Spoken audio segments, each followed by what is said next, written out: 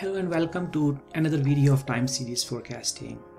In this video I'm going to talk about moving averages of moving averages. Sometimes we calculate moving average of a moving average to make an even order moving average symmetric.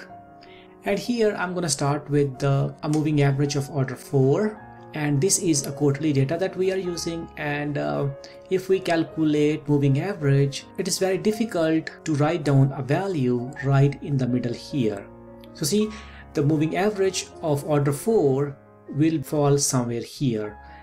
So we're gonna start by calculating a moving average of order 4 by adding uh, uh, these four values and uh, dividing uh, the sum of these four values by 4 and it will give us 451 and in the next step we will drop the first observation and then we will start from uh, value 2 and uh, we will add another value. And in the next step we will calculate the average of uh, these four values and we will place it here.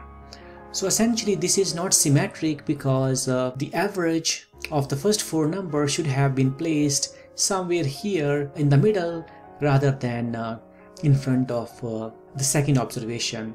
To uh, make this uh, moving average symmetric, we calculate moving averages of moving averages. We will uh, calculate uh, moving average of order 4 and then we will calculate uh, a moving average of 2.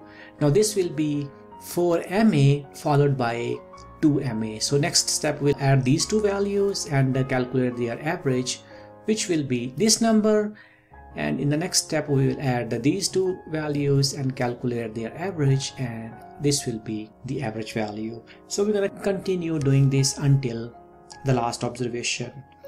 In general an even order MA like this moving average should be followed by an even number MA as I did here. So a 4 MA should be followed by an even uh, MA and uh, an odd order MA should be followed by an odd order MA. For example, if we were uh, calculating 7 periods moving average here, it should have been followed by an odd number MA rather than uh, this. So an even MA will be followed by an even MA and an odd MA will be followed by an odd MA to make uh, these observations uh, symmetric. Alright, I'll see you in the next video.